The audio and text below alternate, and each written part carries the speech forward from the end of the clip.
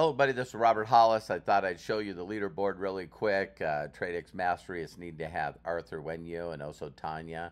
Uh, number one and number two, you can see they both have 26%. Wow. Arthur's already withdrawn $10,000. You can see those videos on YouTube. So he's made, you know, 36,000 in profit. Started with 100K. Uh, 26 because he withdraw 10. So you can see here 38 days um, so far, and then um, 488.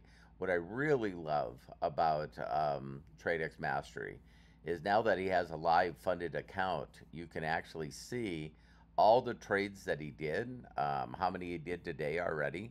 Uh, so that this was yesterday. One, two, three, four, five, six, seven, eight, nine, ten. Ten trades. And uh, look at here. Wow. You know, so I think the best day he's had is um, $8,100. And then I think that he's had, you know, as big as 4,800 in loss. So what I loved about this is you can see every single trade, when he made him, what the lot size was.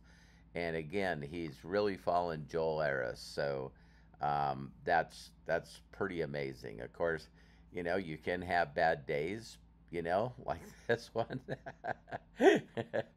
but uh, I thought this video would help people just see uh, how successful. So congratulations to Arthur and also Tonia.